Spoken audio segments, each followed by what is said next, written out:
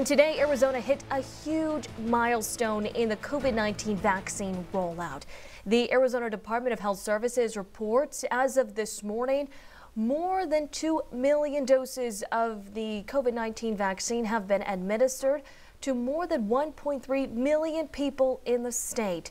More than 711,000 people have received both doses nearly 25% of those total doses that have been administered at the state-run vaccine sites.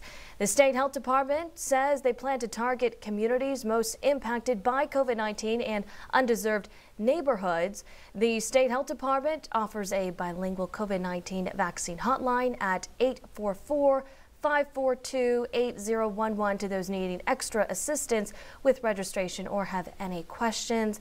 We apologize. That graphic is of the COVID-19 vaccines administered in Pima County. And as we hit 2 million mark milestone, the state health department reports this morning Pima County is close to 300,000 COVID-19 vaccine doses administered. Nearly 110,000 people are fully vaccinated against COVID-19, marking 18.3% in the county vaccinated. The AZDHS director, Dr. Cara Christ, will hold a virtual information session this afternoon. She is expected to give an update on the state's COVID-19 vaccine distribution, what is expected next week, and the latest on the Johnson & Johnson vaccine coming to Arizona. We will definitely have more on this coming up in our later newscasts. You know, there's been over 2,200 deaths. This is about one in every 450 people. So, what we believe is that everybody knows somebody who knows somebody who knows somebody that has been impacted by COVID. And that was the Pima County Health Department director yesterday reflecting on this past year with COVID 19.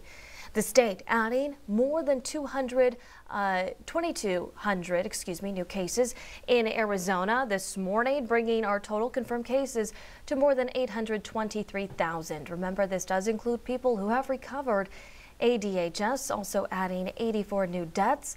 More than 16,000 Arizonans have died from virus-related issues. 215 new cases were reported today in Pima County and seven new deaths. There are more than 140 cases in Pinal County and three new deaths reported. Cochise County reporting 19 new cases and one new death, and Santa Cruz County reporting five new cases.